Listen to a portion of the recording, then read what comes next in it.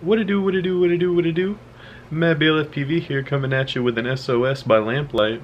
Um, been having some troubles and was gonna ask if you guys might know anything about it. Um, that new build that I just put the Kalman filters on, uh, the one I went, you might have seen the video, I went flying in the snow with it, testing out the tune. Well, I took it out again today, and uh, when I was flying it in the snow, it started doing this weird thing where it would kind of lock out or it might be a failsafe. And, and I guess really that's my question uh, having not a lot of experience with this would you say that this is a failsafe or because I overclock the board am I overloading the um,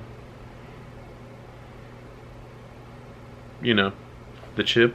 I don't know. Am I overloading the uh, the board? And is the CPU usage like going up all the way up to 100% and is it locking out because of that for a second. It seems to only happen when I do uh, really hard acro, like either a really hard flip or a really hard roll or a really hard yaw. Uh, it'll just kind of lose it for a second. And uh, I got some footage, and if you want to check it out, uh, let me know what you think. Let me know if you know what it is. I could really use the help.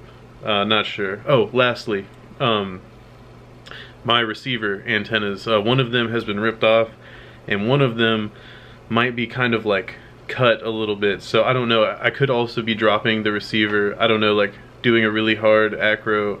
I, I don't know how they're related, but maybe you do. Uh, if you do, let me know, please. Uh, anyway, take it easy. Check out this footage and catch you later. Peace.